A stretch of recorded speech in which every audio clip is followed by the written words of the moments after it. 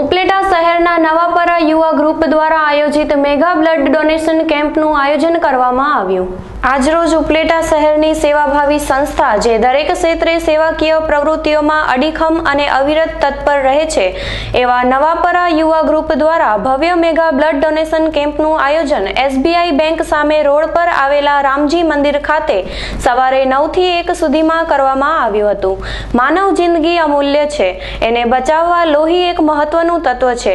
લોહીની આકસ્મિક જરૂરિયાત કોઈ પણ વ્યક્તિને પડી શકે છે. કારણ કે લોહીનો કોઈ વિકલ્પ નથી. એક વ્યક્તિ દ્વારા એક વખત રક્તદાન કરવાથી ત્રણ વ્યક્તિની જિંદગી બચાવી શકાય છે.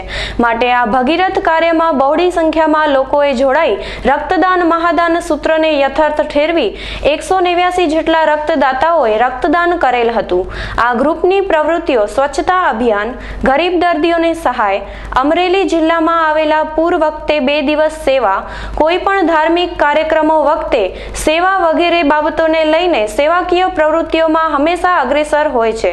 આ કેમ્પમાં શહેરના નામી અનામી, રાજકીય તેમજ સામાજિક અને દરેક ક્ષેત્રના લોકોએ ઉપસ્થિત રહી રક્તદાન કરેલ હતું.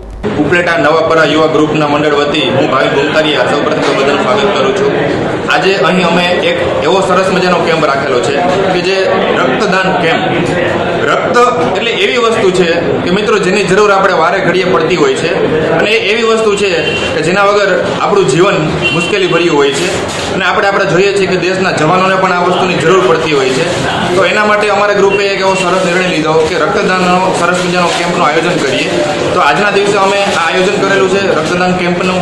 અને અમારું યુવા ગ્રુપ ઉપલેટા નવાપારા યુવા ગ્રુપ હંમેશા આવા સારા કાર્ય કરવા માટે તત્પર જ હોય છે. અને બ્લડ ગ્રુપ ડોનેશનની સાથે સાથે અમે હજી પણ અમારા એવા નવા પ્રોજેક્ટ છે કે જેમાં સ્વચ્છતા અભિયાન, ત્યારબાદ વ્યસન મુક્તિ અભિયાન એવા ઘણા બધા અમારા પ્રોજેક્ટ છે, જે અમે હર હંમેશ ચાલુ જ રાખવાના છીએ અને આવા નવા નવા ઘડતરો અને નવા નવા પ્રયોગો અમારું ગ્રુપ કરતું જ રહે છે અને આ માટે અમારું ગ્રુપ હર હંમેશ જાણીતું જ છે. તો એ ગ્રુપ વતી હું હંમેશા આજે તમને એટલી જ વાત કહેવા માંગુ છું કે એક બહુ સરસ મજાનું આયોજન અમે કરીએ છીએ અને એક સરસ મજાનો મેસેજ અમે પબ્લિક સુધી પહોંચાડવા માંગીએ છીએ.